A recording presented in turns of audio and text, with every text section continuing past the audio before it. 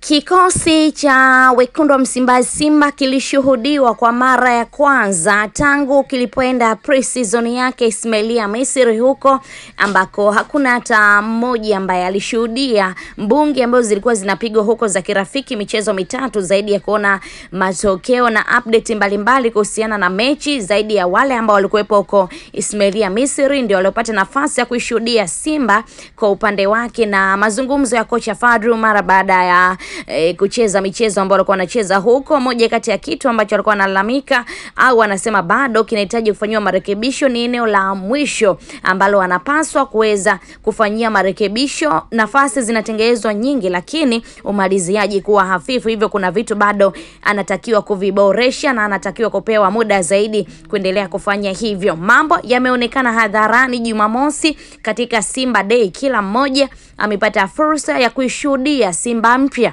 Simba ya msimu elfu mbili na ishirini na nne elfu mbili na ishirini na tano. Usajili maingizo mapya uh, almost kumi na mbili yakihusika na wote watu tulipata asilimia kubwa, tulipata fursa ya kushuhudia mchezo na kila mmoja amekuwa na maoni yake kuhusiana na performance mbalimbali za wachezaji wapya, lakini zaidi wachezaji waliokuwepo zamani, muunganiko ukoje kwa upande wao? Kila mmoja amekuwa na maoni yake. E, wapo ambao wametaja kwamba muunganiko umekwisha kupatikana, wengine bado uh, muda kidogo kocha Fadru aweze kupewa muda, kwa sababu kikosi kimeonekana kuwa bora kwa upande wa wekundu wa Msimbazi Simba, na kuna kitu ambacho kimeonekana ambacho kocha Fadru anakitengeneza kuelekea msimu unaokuja, msimu elfu mbili na ishirini na nne elfu mbili na ishirini na tano kwa upande wake, ndo kitu ambacho kilikuwa kinazungumziwa e, kwa upande huo.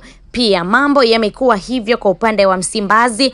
E, tutajuza kwa upande wako namna ambavyo kikosi cha Msimbazi ni kama kikosi kipya, kwa sababu maingizo mengi ni mapya. Kwa upande wako unakionaje kuelekea msimu unaokuja elfu mbili ishirini na nne elfu mbili na ishirini na tano itaenda kuonesha upinzani wowote? Utatujuza hilo, lakini kubwa zaidi usiache kusubscribe kama bado haujaweza kufanya hivyo katika YouTube channel yetu ya Mtanange TV ili uendelee kujipatia taarifa zetu mbalimbali kwa uharaka zaidi. Asante ambaye tayari ni mwanafamilia wa Mtanange TV uliyekwisha kusubscribe katika YouTube channel yetu ya Mtanange TV. Big up sana kwako, endelea kufuatilia taarifa zetu mbalimbali kwa uharaka zaidi.